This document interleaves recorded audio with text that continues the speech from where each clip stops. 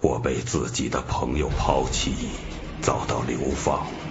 我跋涉在冰冻的废土上，但我并不孤单。至少，脑海中的声音，我唯一的伙伴，在指引我走向目的地。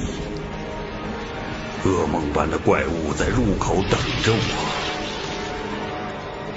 我的血液开始变得冰凉，就如同这寒霜皇冠一样。在里面，我看到了无数可怕的景象和惊人的力量，那种我一直在追寻的力量。因为恐惧，我逃走了，但终究没能逃脱。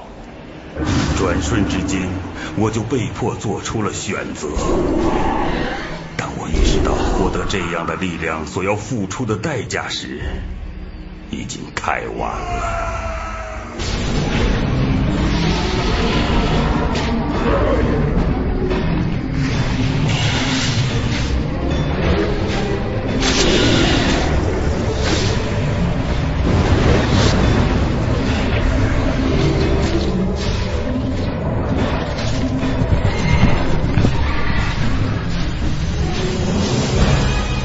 在，这个世界将要付出惨重的代价，因为我回来了。我就是凯尔苏萨的，你的好奇心将会给你带来死亡。